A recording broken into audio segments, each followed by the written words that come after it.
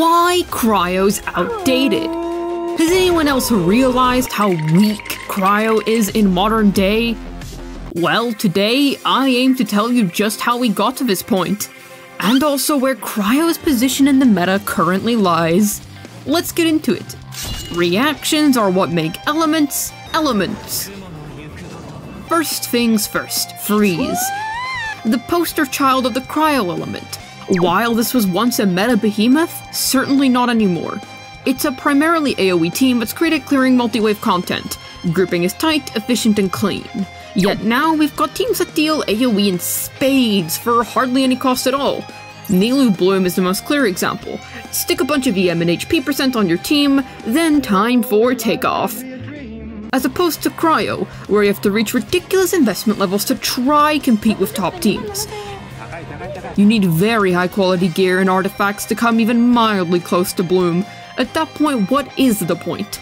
Sucking against boss scenarios also isn't a good look. It was excusable back in the 2.x era. Bosses have gained more and more HP as time has gone on.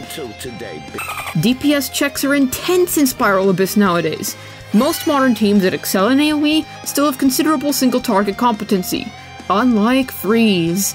And then we have Melt. On its own, fine reaction, but it's so impractical in use. This is because of the pyro characters we have access to. This is what happens when you give little men big guns. Good luck, boy! Vaporizes Xingqiu and Yelan to take advantage of it, but Melt it barely has anything. You can use Jean Sunfire, but that needs two units to do one job. Whereas Vape and other teams only need one reaction enabler. Plus, that forces extreme circle impact, not so great for AoE. There is simply no insane melt support. Shenhe exists, yet she steals melts. So, automatically not viable for this archetype. Burn Melt exists, and it's not a bad team, but Nahida has far more high value applications over this. You only play Burn Melt if you're trying to force Ganyu. Superconduct! Uh, are you serious?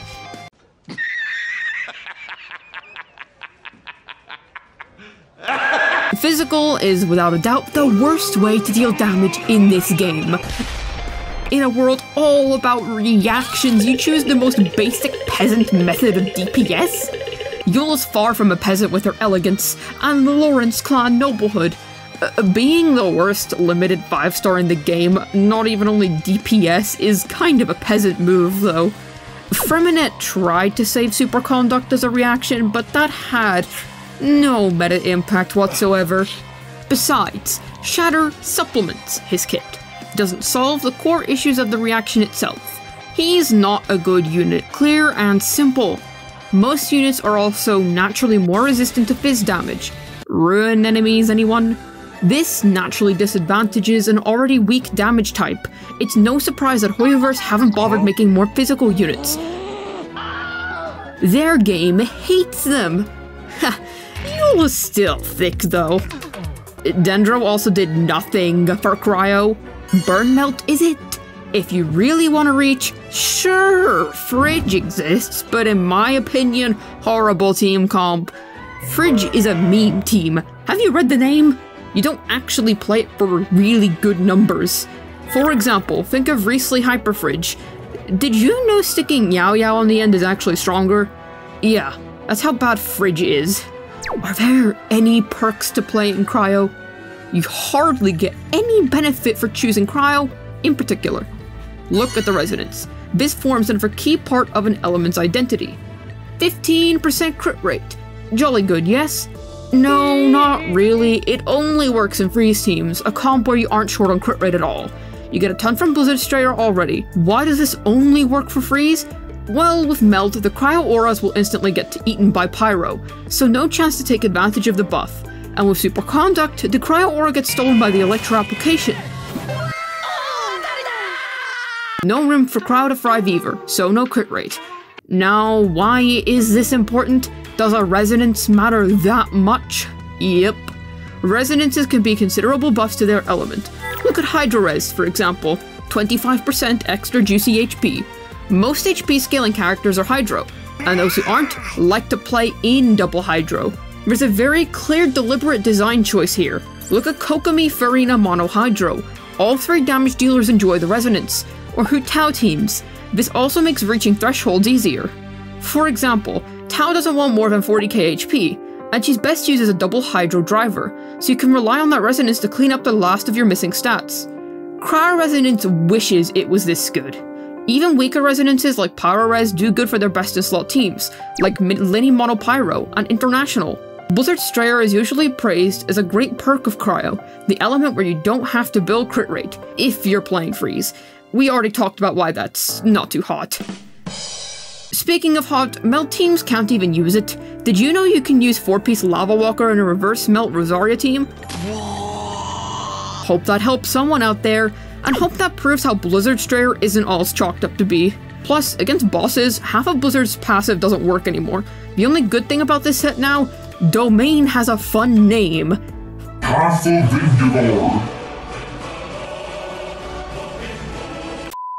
Uh, what does that mean? Anyways, it's very high investment for mediocre returns. Where's the perks in that? Hold it! If you're enjoying the video, why not consider liking and subscribing? Maybe even leave a cool comment down below.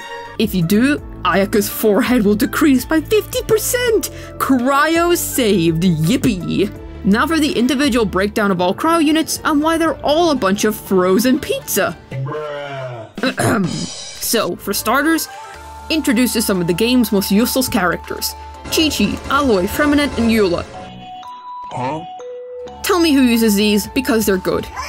Nobody. Eula fans are still cultured though. You realistically never use Diona and Layla. Zhongli and Baizhu are way better in far more teams, and more effective in the game's current best teams. Plus, in cryo teams, they're both a DPS loss. You want Shenhe in their place instead, and if not her, then Rosaria. Kokomi should be your freeze healer, and if you don't have Kokomi, why are you playing Freeze? Chongyun and Kaeya are characters of all time. They definitely exist. To their detriment, honestly. Kaeya does nothing. That's it. Nothing. Freeze is so bad, he's not got a good free to play freeze option. You can reverse melt if you don't have anything else. Same story for Chongus over here. Rosaria's numbers are solid, especially in Melt. Hey. But that's the thing, she demands a Melt team built around her. Sure, she works in Freeze, but is a direct downgrade to Shenhe? What about Mika and Charlotte? Wow, they exist as well! Now, oh. they're both good Furina teammates, so that brings them solid meta value, but that's it, they aren't good because they're cryo, they're good because Furina needs fanfare. Mika provides attack speed, which is a useless stat. He's not even Eula's best in slot support, and did not fix Eula's core issues. He fails as a niche support option. Charlotte only exists as a more accessible Furina healer, for those of you who don't own Baizhu or Jean. What about sweet Ganyu? She can freeze Melt on his off-field presence. Sadly, the damage she deals isn't enough anymore. Modern units far outperform her. As for her off-field burst playstyle, there's no practical place for it outside of Mono Cryo. Her burst does synergize very well with cute best girl Venti, thanks to both of them having quadratic scaling. But lovely Venti is able to work very well with more modern units too, Wanderer and Neuvillette are great pairs for instance. Morgana is also tied to AoE only, it will do nothing against a boss. It's equal to playing Ganyu solo. Meanwhile, other AoE heavy teams like Nilou Bloom are fine against bosses, especially with high investment. They're not in their prime, is all. Wriothesley, he seems good. After all, the man has splendid teams. Plays with both Furina and Xiangling. Can't go wrong there, can you? Thing is, he's carried by his teammates. Ryo's good because Furina and Xiangling are good. His own personal DPS isn't that high, C0. So whilst team DPS may be high, Ryo himself doesn't even contribute 50% of team damage. And now for Cryo's crown jewel, Frostflake Heron Ayaka Oh boy. She's the queen of freeze. Not a great reaction to reign over, so what saves Ayaka? She's still a very potent hypercarry and the best modern cryo unit. Personal DPS. Ayaka's good because her raw DPS output is good. There's no other special twist, she simply does damage. It's the same reason why Itto is decent. He's nowhere near Ayaka level, of course, but his teams don't offer much other than buffs to his own raw damage. There's one major issue with this. Ayaka needs a lot of investment, especially nowadays. Competing with top Dendro teams, Very tall ask of Ayaka without a Mist-Splitter and Kazuha, at least. Dendro teams can fall back on reactions. Artifacts and builds not that great? That's fine since the reaction can help carry. Alhaitham's a top performing DPS right now. Harbinger of Dawn is equal to Mist-Splitter on him, theoretically assuming you can stay above the HP threshold. Ayaka has no such luxuries. Kageuchi is far worse than Mist-Splitter, no questions asked. And her teammates? Oh man. Invest big or go home. She's practically unplayable without Kokomi. Mona may be good on paper, but in practice she feels horrible to use. Shen has also a massive buff to Ayaka, but that's a niche support who works in a grand total of two teams. And in reality, when you consider how Melt doesn't work right now, and how Freeze is mid, Ayaka is the only unit she's realistically good with. You're pulling three 5 stars for one unit. Kokomi, Kazuha, and Shenhe. Maple Man is a must. Ayaka needs a high level of grouping, otherwise that burst isn't landing. Let's settle this once and for all. Free to play Ayaka versus high investment Ayaka. You'll easily see the difference. Cryo is my favorite element, by the way. I have a C2 R1 Shenhe, top 1% C1 R1 Ganyu, and 60k burst tick R1 Ayaka. But even I have to admit this element's fatal flaws. So there you go. Good hyper carry, but a very high barrier to entry, especially with what she provides. Cryo is no longer top of the meta. It hasn't been for a long time now. Those days are long, long gone. 2.7 to 2.8 officially killed it for most players. Quick Bloom, Dendro in general, and Furina teams now reign supreme. Freeze can't hope to compete at reasonable levels of investment.